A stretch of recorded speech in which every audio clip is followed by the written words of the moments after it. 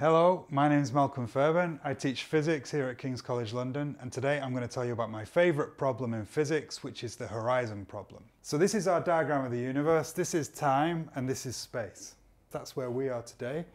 Now the universe is expanding which means that if you run time backwards everything used to be a lot closer together, the density was higher, the pressure was higher and the temperature was higher.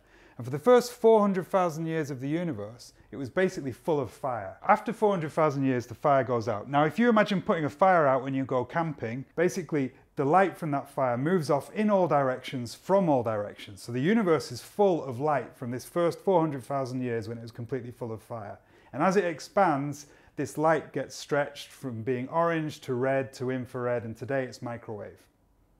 So when we look at things that are very far away from us in the universe, of course, we're looking backwards in time because it takes light a long time to travel across the universe. So if we look at a distant galaxy, we're not seeing how it appears today, we're looking how it appeared in the past because the light from that galaxy takes some time to get to us. If we look to the furthest thing that we can see in the universe, it is the light from this fire that was emitted 400,000 years after the Big Bang.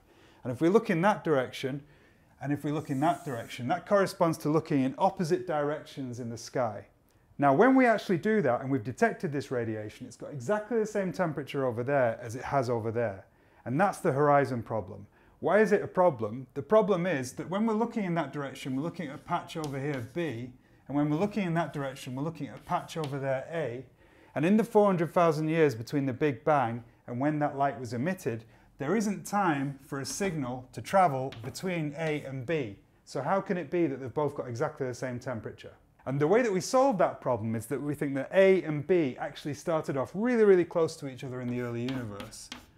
But then there was a period that we call cosmological inflation when the universe expanded exponentially quickly, effectively faster than the speed of light, such that B got zoomed out over there and A got zoomed out over there. And that's how we explain that A and B have both got exactly the same temperature, even though that appears to be impossible. And that's the solution to the horizon problem.